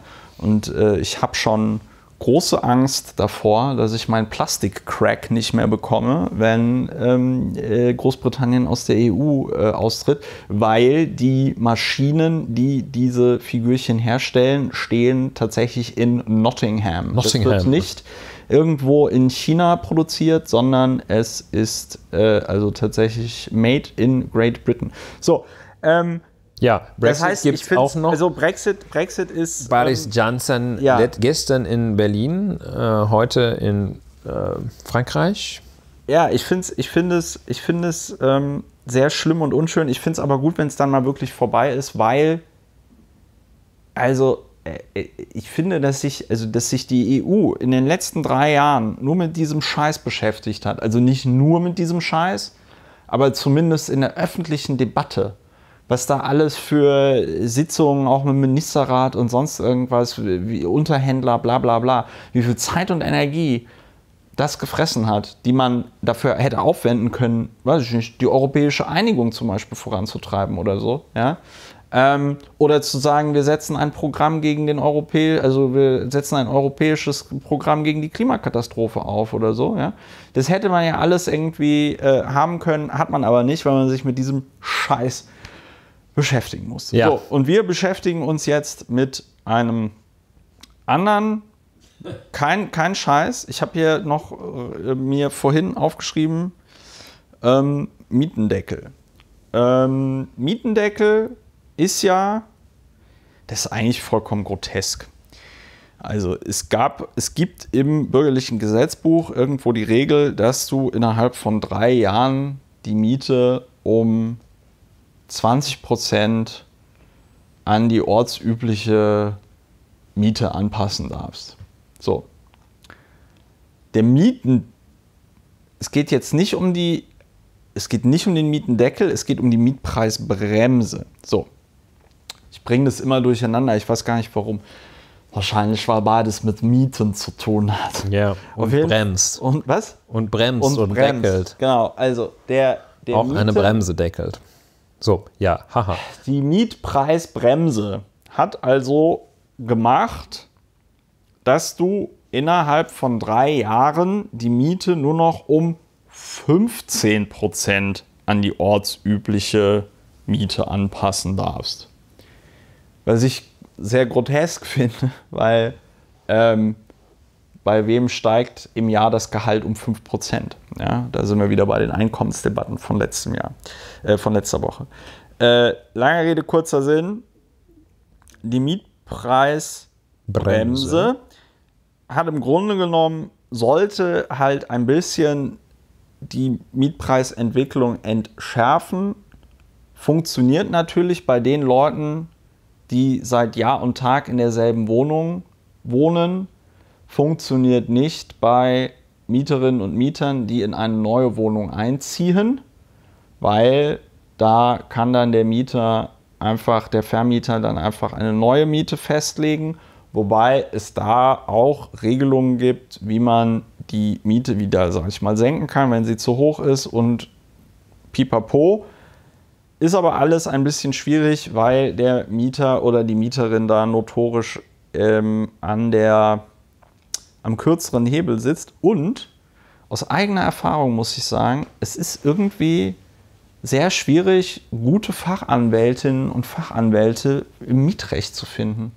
Ich würde ja gerne den Ulrich Wehner oder die Frau Ulrich Wehner des deutschen Mietrechts kennen. Ja. Ich, ich, ich, ich habe, ich habe ja schon dich mehrmals gefragt. Ich habe auch andere Anwälte und Anwältinnen, die ich kenne, gefragt. Kennst du da einen guten Mietrechtler? Und es ist nicht so. Ich, ich, ich, ich weiß nicht, woran es liegt. Ich äh, weiß auch nicht, woran es liegt. Ich kann das allerdings nur dadurch illustrieren, dass ich von Mietrecht auch überhaupt keine Ahnung habe. Ja, Und dass ja, ich auch mich tatsächlich mit diesem Thema wirklich nicht auskenne.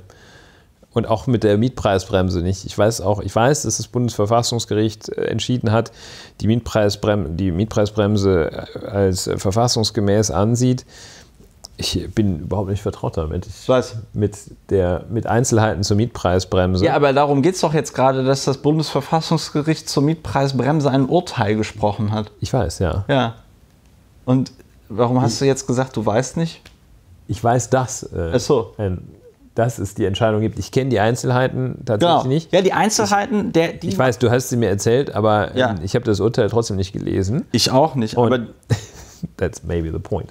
Und ähm, was will ich aber sagen? Ich äh, würde mich auf so eine allgemeine, äh, die Insel eines Allgemeinplatzes retten wollen. Mietpreisbremsen und auch Verstaatlichungen einzelner Wohngesellschaften sind möglicherweise geeignete Mittel, ersetzen aber in keinem Fall das Bauen, die Errichtung von Wohnungen, die auch sich Menschen leisten können. Und damit will ich jetzt nicht in so ein Horn stoßen, wie Mietpreisbremse führt dazu, dass keiner mehr baut. Aber ähm, der eigentliche Witz ist die vorhandene Substanz an Bauten. Damit will ich nicht widersprechen. Ich möchte mich nur aus diesem Thema herausnehmen. ja, okay, das kannst du gerne tun. Wobei ich sage, man muss ja nicht äh, das äh, eine tun und das andere lassen, sondern man kann beides tun. Worum es mir nur ging, ist, dass das Bundesverfassungsgericht sich eben mit dieser Mietpreisbremse auseinandergesetzt hat. Eine Berlinerin hatte geklagt, die gesagt hat, also äh, ich werde hier in meinen Rechten äh, beschränkt, hier freie Vertragswahl und so weiter und so fort.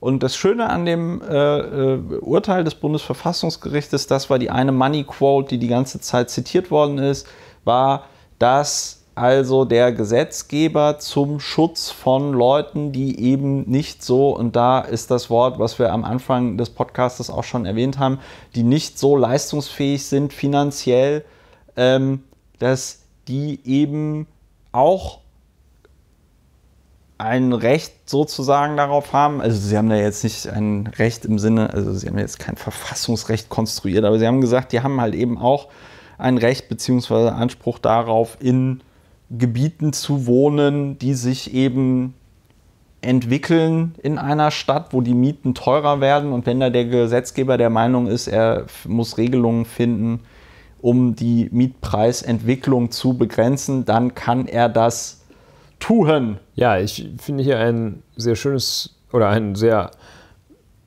illustratives Zitat und der heißt es, äh, und zwar vermute ich, dass das auch Teil der schriftlichen Urteilsbegründung ist, äh, es liegt, Zitat, im öffentlichen Interesse der Verdrängung wirtschaftlich weniger leistungsfähiger Bevölkerungsgruppen aus stark nachgefragten Stadtteilen entgegenzuwirken.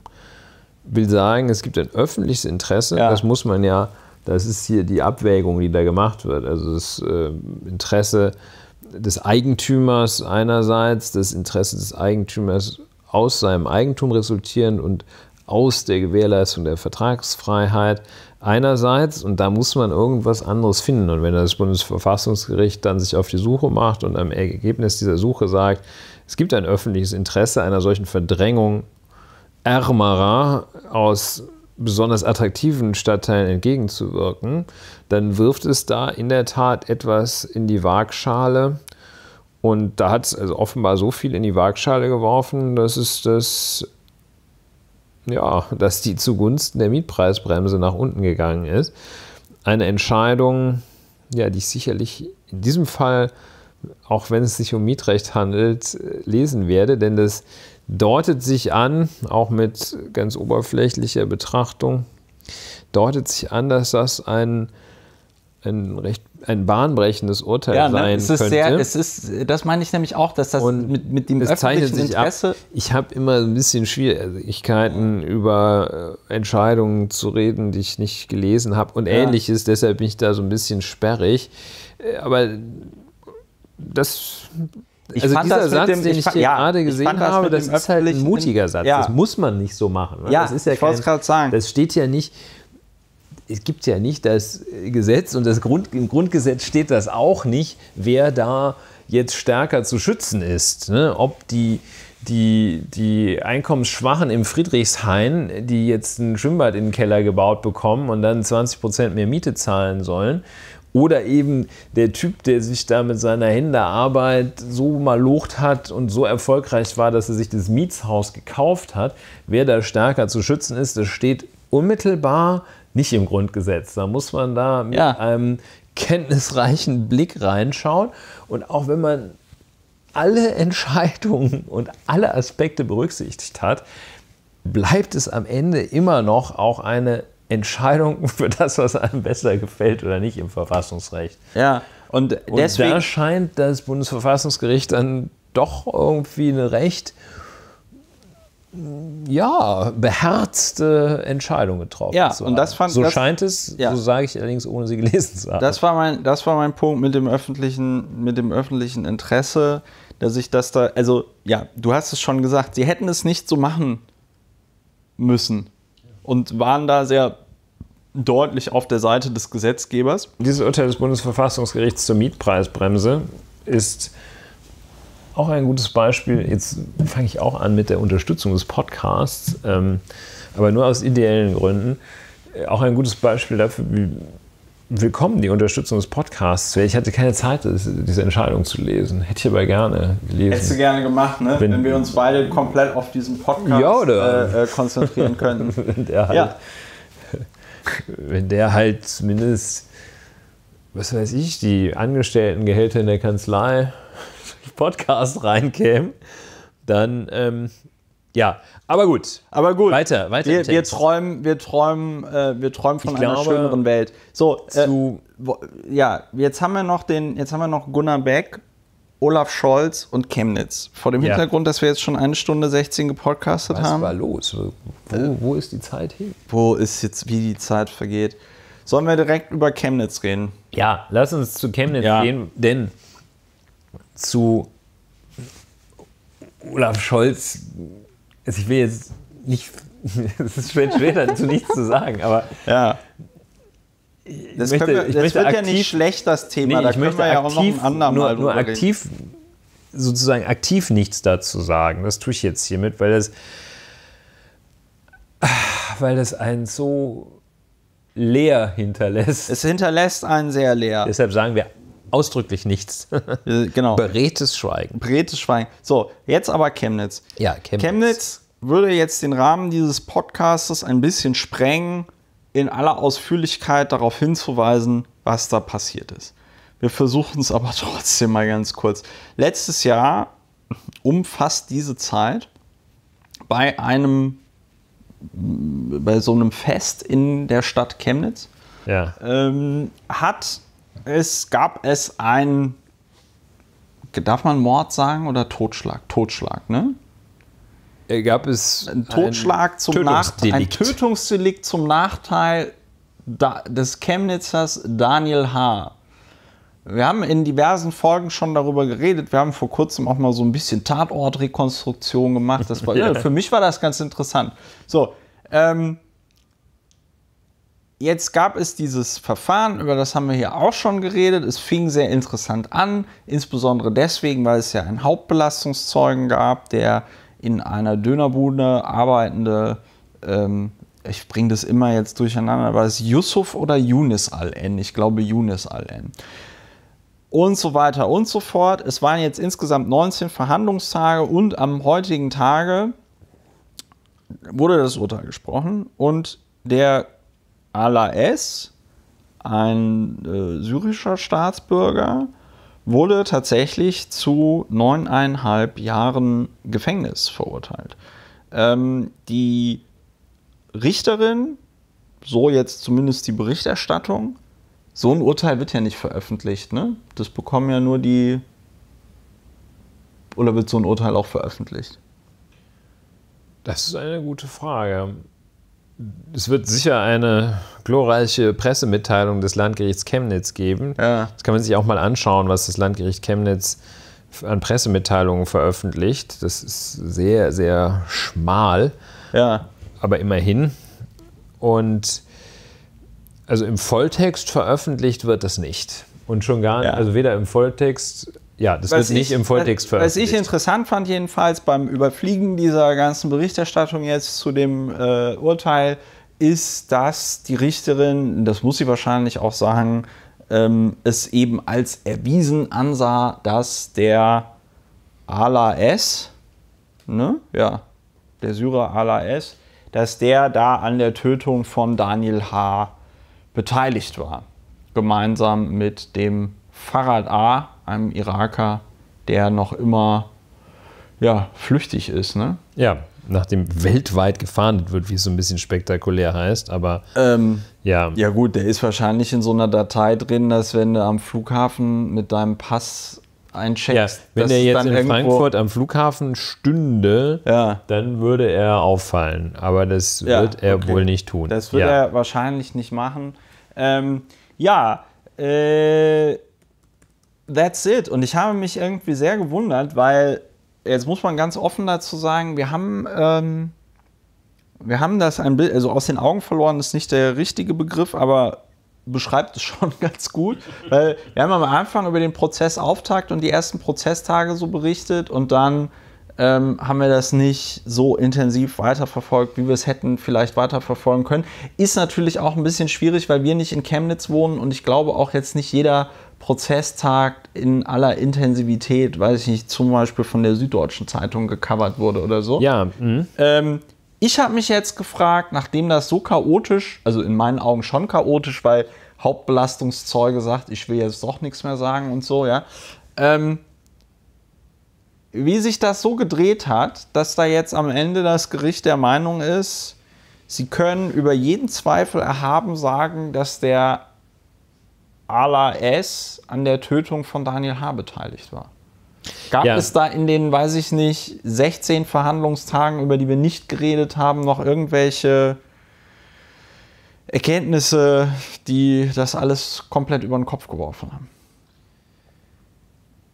Ja, der äh, spießige Jurist muss sagen, an der Tötung beteiligt habe das äh, Landgericht entschieden, ist noch nicht richtig. Es hat entschieden, dass der Ala S. den äh, Mike H. getötet hat. Also nicht Daniel H., nicht Daniel Mike. H., Entschuldigung. Und äh, dass er also einer von zwei Mittätern gewesen sei. Der andere, wie du auch schon gesagt hast, flüchtig. Der andere mutmaßliche Täter flüchtig die, den weiteren Verlauf des Hauptverfahrens bis auf so ein paar Highlights zu verfolgen durch Recherche aus frei zugänglichen Quellen ist sehr schwierig, weil die Berichterstattung sehr bruchstückhaft dazu ist, zu diesem Verfahren, weil es wahrscheinlich dann in erheblichen Teilen dieses Verfahrens auch um unspektakuläre, jedenfalls für eine Berichterstattung unspektakuläre Dinge gegangen sein mag. Was man allerdings sagen muss, was nicht zu finden ist, ist ein knallharter Beweis, der schon ohne weiteres überzeugt. Das heißt also eine Wende, dass da plötzlich ein Video aus der Überwachungskamera des Tatortdöners aufgetaucht wäre. Der Tatortdöner war ein bisschen weit davon entfernt vom Tatort, ne? aber gut. dass die Zeugen sich in großer Klarheit erinnert hätten und gesehen hätten, wie Ala es zugestochen hat. All das ist nicht berichtet. So. Das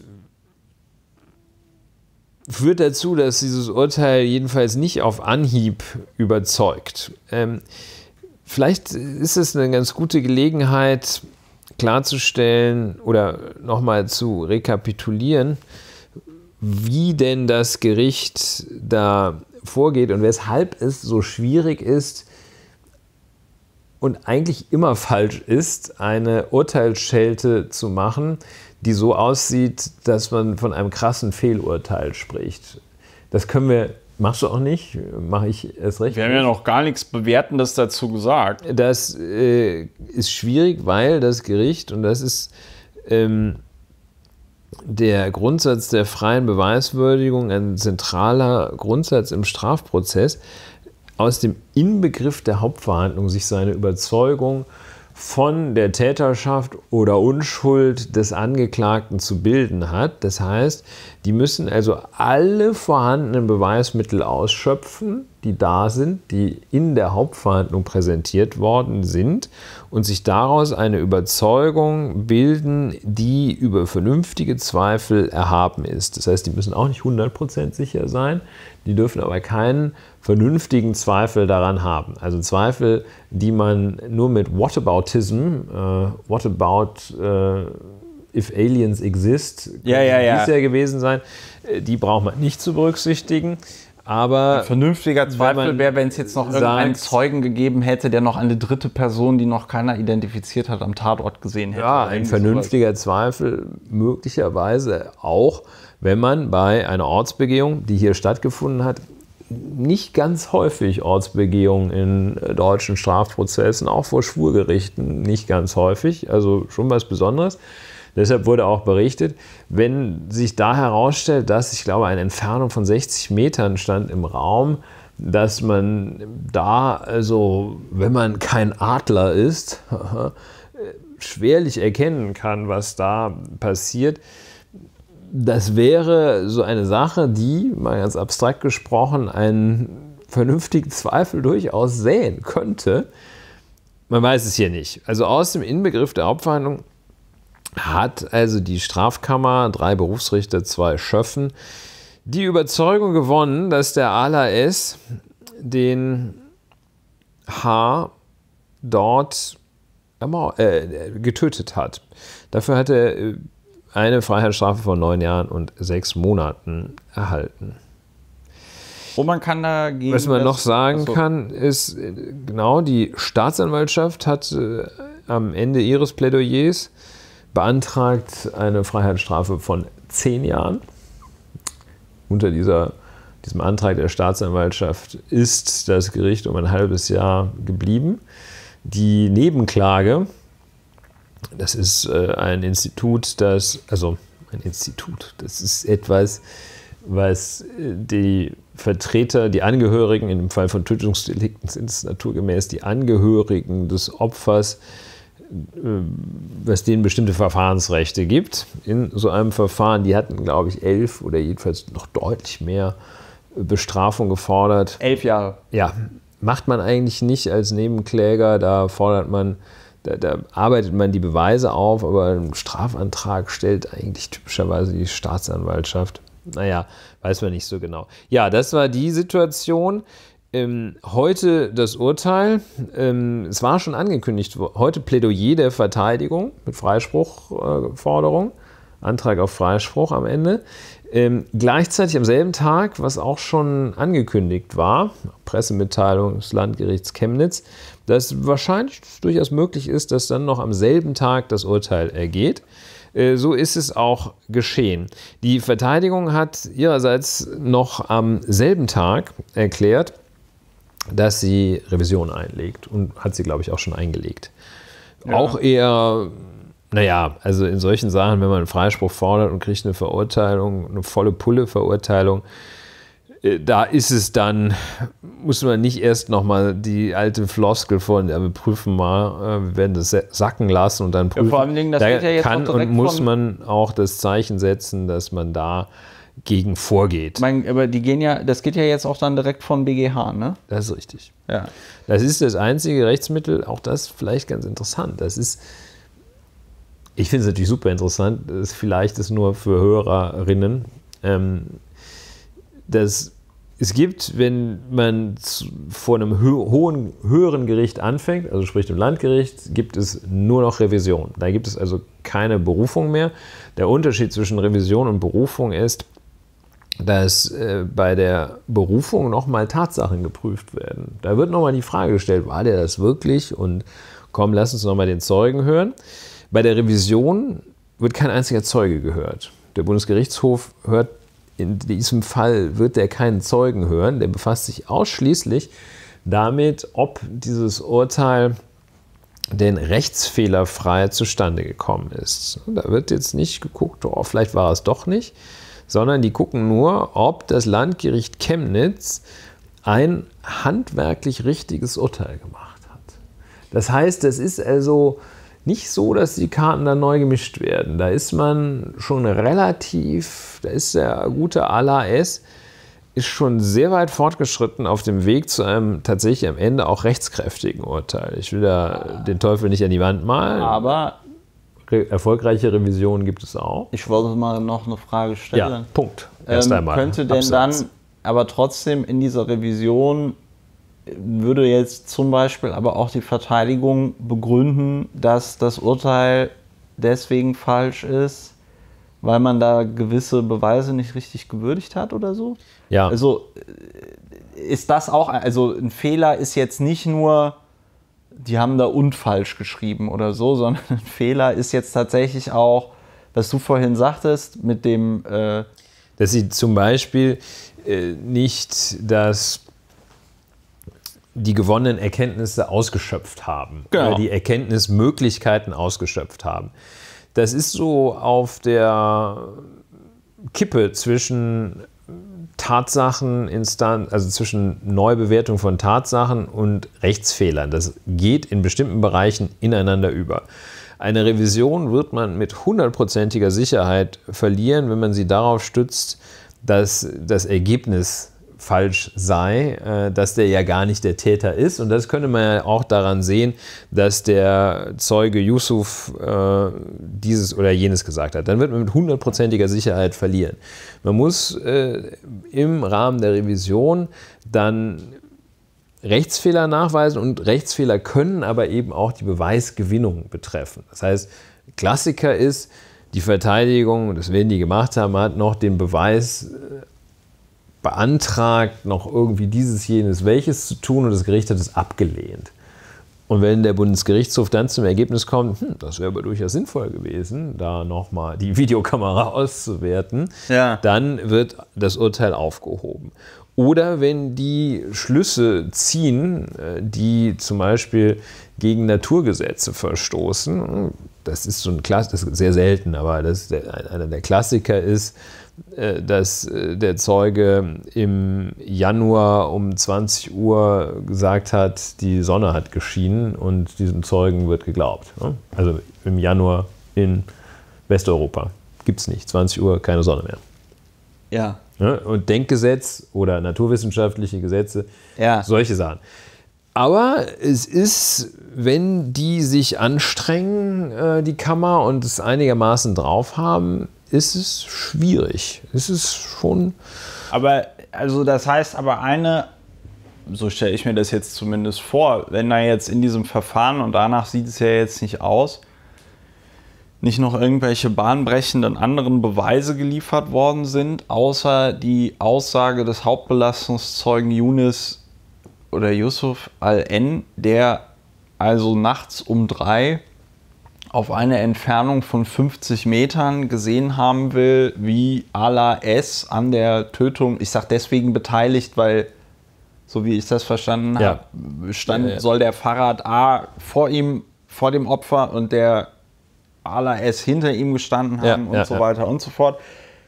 Also das wäre dann aber schon ein Weg, dass die Anwältin von ähm, Ala S jetzt quasi versucht, nochmal zu erklären, warum der gutste Hauptbelastungszeuge das gar nicht hätte klar erkennen können. Das ist jetzt also nicht zu weit hergeholt, Ja, dieser das ist Versuch. eine sehr gute Möglichkeit. Wahrscheinlich hat die auch beantragt, noch ein Sachverständigengutachten oder es gab ein Gutachten, das weiß ich nicht genau, über die Sehfähigkeit des Hauptbelastungszeuges. des Hauptbelastungszeugen oder die Sehfähigkeit im Allgemeinen anzustellen. Und ähm, dann waren da ja prozessual noch Sachen, dass der, dass der Sitzungsvertreter der Staatsanwaltschaft, der wurde ja gleichzeitig, ich glaube, wegen Rechtsbeugung äh, wurde ein Ja. Ermittlungsverfahren gegen ihn geführt.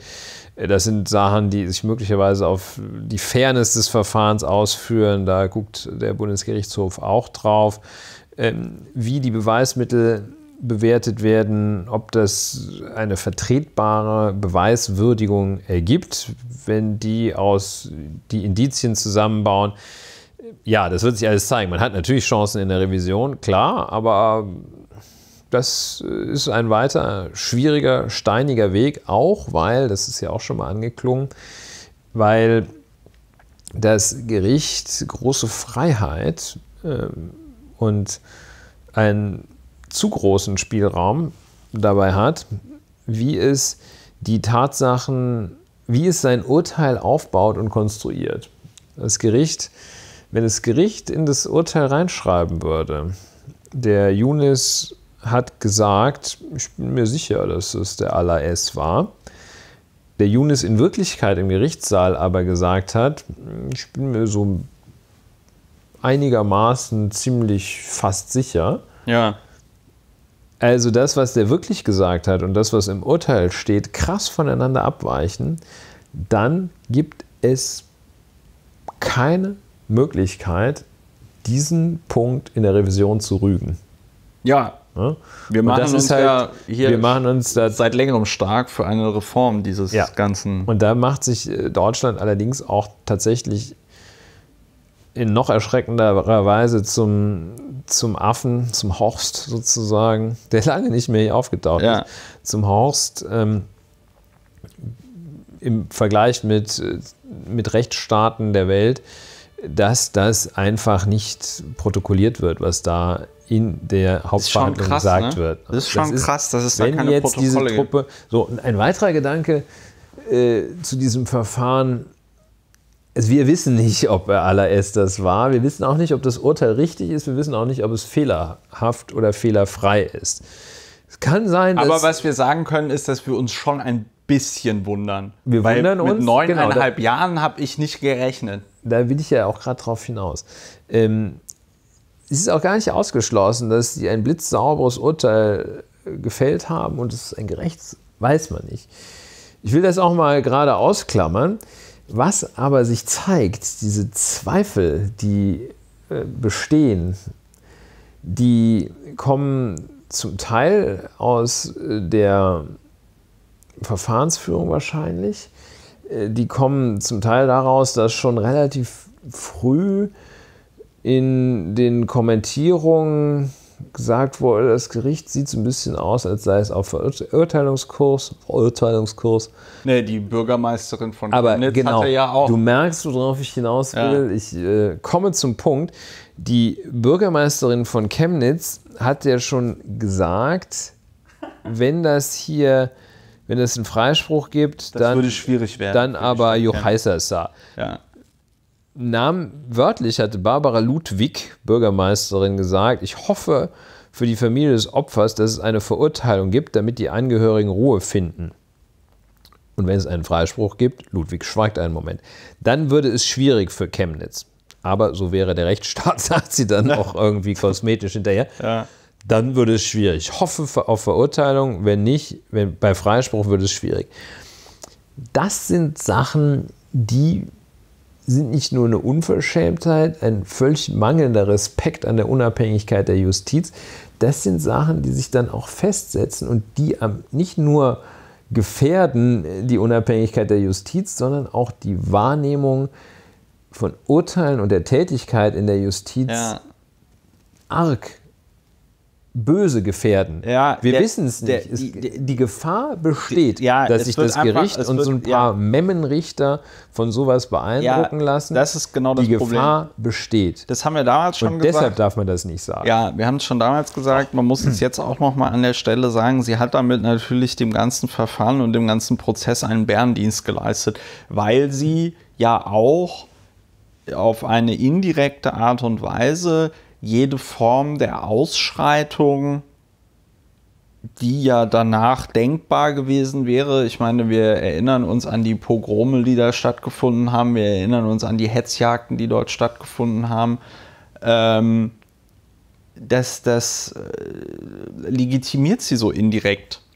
Weil sie ja sagt, so, ja, dann wird es schwierig für Chemnitz. Ne? Also so dieses so, ja, dann machen die wieder irgendwie Remi-Demi. Ja, das kann ich schon irgendwie verstehen. Also das ist, ähm, das ist, ja, du hast dazu schon alles irgendwie gesagt und das ist natürlich, Das, selbst der, ich glaube, selbst der härteste Richter, die härteste Richterin, das hinterlässt Spuren.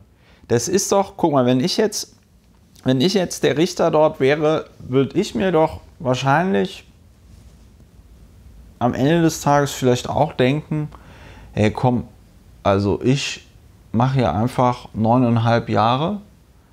Wenn der BGH da irgendwie Revisions... hält, wie man wenn, so sagt, Ja, wenn der okay. BGH da irgendwie einen Revisionsgrund sieht oder so, dann habe ich halt Pech. Dann kann ich aber noch immer sagen, ja, ich wollte ihn ja neuneinhalb Jahre ins Gefängnis schicken, der BGH war anderer Meinung. Verstehst du, was ich meine? Also da ist dann natürlich... Pontius Pilatus. So, das ist, ähm, das ist eine... Und solche Sprüche, wie jetzt hier der mit der... Ähm, ja, das wird schwierig für Chemnitz. Die öffnen da das, die öffnen da Tür und Tor. Ich hoffe, dass es zu einer Verurteilung kommt. Ja, das, das wird ist- schwierig für Chemnitz. Das ist ähm, Und Gift. das, das ist Gift für das den ist- Rechtsstaat. Ja, das ist voll, voll Gift. Ja, es gibt noch, ähm, weshalb man ähm, eigentlich nicht allzu überrascht sein kann und darf, äh, dass es zu der Verurteilung gekommen ist, ähm, sind neben diesen Kommentaren, äh, ich glaube auch in der Süddeutschen Zeitung war das, das Gericht scheint auf Verurteilungskurs schon ganz früh im Verfahren, äh, ist, dass es äh, am 28. Juni wurde die Haftsituation des ALAS erörtert und da hat das Landgericht Chemnitz in Dresden gesagt, auch das nochmal später zu hinterfragen kurz, nein, nein, der bleibt in Haft. Und äh, das kann man nur, wenn man den dringenden Tatverdacht auch weiterhin bejaht. Nur dann kann man den in Haft lassen, wenn man sagt, no, das, also der ist immer noch verdächtig, aber nicht mehr so richtig dringend. Wir halten das so für mittelwahrscheinlich, dass der verurteilt wird. Dann muss man ihn rauslassen. Aber auch da, ne, was soll Chemnitz denken, wenn man so einen, so einen äh, Syrer da rauslässt? Ähm, da hat das Gericht das gehalten. Ne? Das sind immer so, da ist die Wortwahl gehalten ist kein Fachbegriff, aber äh, wird trotzdem in der ganzen Szene immer verwendet. Der BGH hat das Urteil gehalten, äh, die Richter haben den Haftbefehl gehalten. Slang. Ja, ähm, Slang, ja. Soziolekt, ähm, aber es zeigt sich ein bisschen diese defensive Haltung dahinter. Ne? Gehalten. Ja. Ne? Also Du, ich darauf hätte kommt auch- es. Es ich ist hätte, nicht die wenn ich- Frage. wenn ich die Bilder- Richter sagen, wovor, also so Schwurrichter, die sagen, wovor, auf die Frage, wovor haben sie denn, was fürchten sie denn so bei ihrer Arbeit? Die sagen eigentlich, ja, wir müssen Urteile machen, damit wir nicht aufgehoben werden vom BGH. Ja. Damit der BGH das hält. Verurteilung hat gehalten. Dann sagen die, da macht die Kammer, sollte der BGH sagen, die Revision wird zurückgewiesen, da machen die am Abend machen die eine Flasche mittlere Sekt mittlerer Preis und, äh, Preises und Güte auf. Das, so, aber, also wir wissen nicht, ob das Urteil falsch oder richtig ist, aber ähm, das Ganze sieht kritisch aus. Das äh, sieht schwierig aus. Ja, es wäre Und da schön sind solche Spezialagenten dran schuld. Ja, jetzt wiederhole ich mich. Ich Nee, genau, es sind solche Spezialagenten dran schuld. Es wäre tatsächlich schön, wenn man vor Ort gewesen wäre, um das mal so in aller Ausführlichkeit äh, zu begleiten. Die Hörerinnen und Hörer wissen, worauf ich hinaus will. Ihr wisst, warum es nicht möglich war.